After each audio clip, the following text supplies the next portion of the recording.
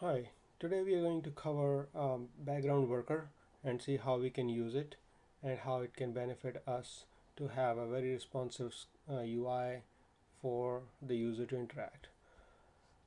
For first let's see how it how it works if we don't use background worker. Well, let's say we have a long task. So when we click on a button the button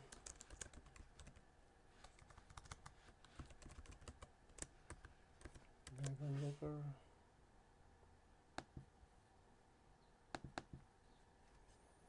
let's say we have a long task to call which takes a parameter let's say number of times we call it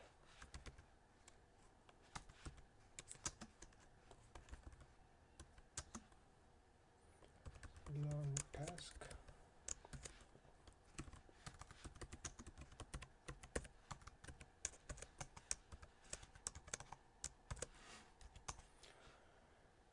and let's use the for loop.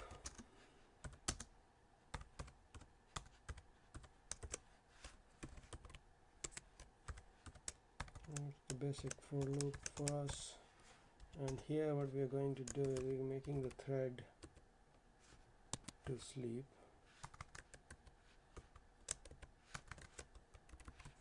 For one second. Thousand means one thousand millisecond that is equal to one second and you can include using systems of threading to use a thread. And then let's see we can use console to to monitor what's happening. Processing item i equal to at this time and right so that's what it is so now if I call this it's going to execute this for 10 times so it's going to sleep for 10 seconds and you will see that how screen freezes out.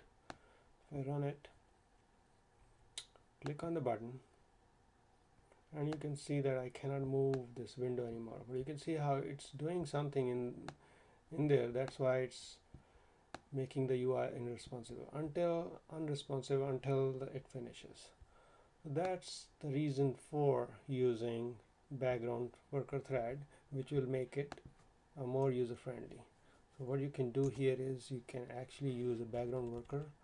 So we're going to use a background worker.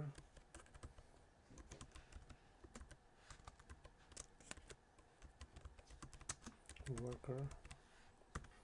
And of course you need to include system dot component model it's declared. So now let's say worker equal to new initializer and then we tell worker what you need to do. Do work. And what I want it to work is I want to pass the two arguments object and event arguments. And I will say just call long task which we were calling before and pass the parameter to it and that's it. So that's what tells it that call this but just telling it to include it but doesn't really call it. So the next step is that it you need to actually call it. Worker dot run worker async. So that means call in async mode. That means you have the screen available for you to do other things while this goes on in the background. Let's say now we start it and run it.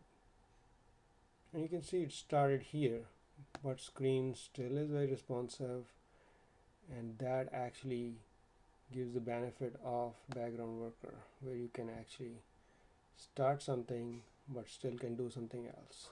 It kind of gives you um, a feeling that that's doing something where it's, it's not really making it freeze or mm, and user getting frustrated because uh, nothing is working on the screen